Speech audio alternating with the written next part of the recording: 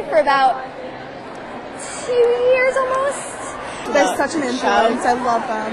My friend found out that they were playing at a mall, and since we knew that, we've been trying to figure out which mall. And when we found out it was the Meriden Mall, we both live in Meriden, so we were just kind of like, the Meriden Mall? I think we went to what, like eight concerts over the summer and met them like five times. And we haven't seen them in concert since August. August 9th. Today, actually yesterday, I um, got ho- got out of school, had track practice, right after track practice, ran into the shower, got ready, came here for I was here at like five o'clock, shopping. This morning. No, five o'clock in the afternoon yesterday. We And, went and the concert's not till. t- today at three o'clock today. My favorite band. I love them. My walls are plastered with them.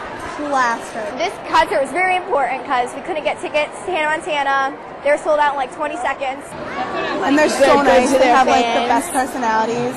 They they do anything just so like their fans were happy and stuff like that. We were waiting outside till they finally let us in, and they only let the, let the people that camped out inside the, the, the place for a little while, and then they let everyone else come in.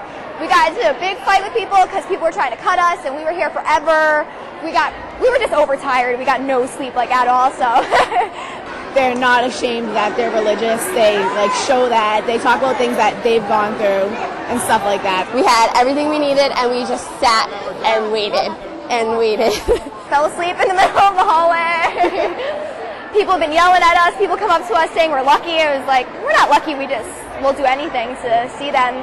It's so worth it. Uh, so many people want to be in the front row and they want to be where we are basically because they've become so big lately. It's just they've become like idols to everybody.